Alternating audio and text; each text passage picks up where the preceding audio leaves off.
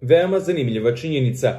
Bebe se ne rađaju sa svim melaninom koji im je po prirodi namenjen. Proces sazrevanja nastavlja se nakon rađenja.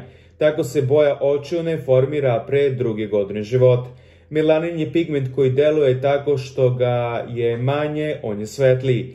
Mala naslage melanina u šarenicama čine ih plavima, do ih srednja količina čini zelenima ili im daje boju lešnika, dok zbog velike količine boja šarenica postaje smeće. Pri rođenju pigmenta ima malo pa je boja svetlija. Kako beba raste, pigmenata je sve više. Melanin je protein, na količini vrsta zapisani su genima. Šarenice koje sadrže veliku količinu melanina su tamnije.